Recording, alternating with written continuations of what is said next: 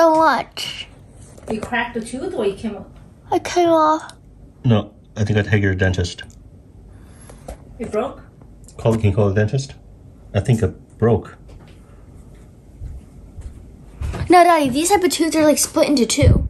No, but Like there's like one, there's like a line between it. Marcus said it was normal. If you want to take me to the dentist, I'm just gonna freak out. okay, let me see. Hold on. I should have kept it in there. No, it won't be good for you.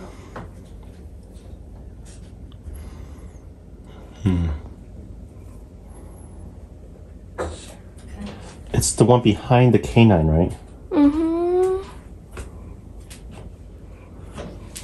Okay. Ah, clear your hair. No, which this one? This one that's bleeding. Uh-huh. Yes, the one behind the canine. There's no tooth. Uh, Okay. So, uh, a part chip off. We were not able to get an appointment with the dentist on such short notice. But Katherine pulled it out, the other half.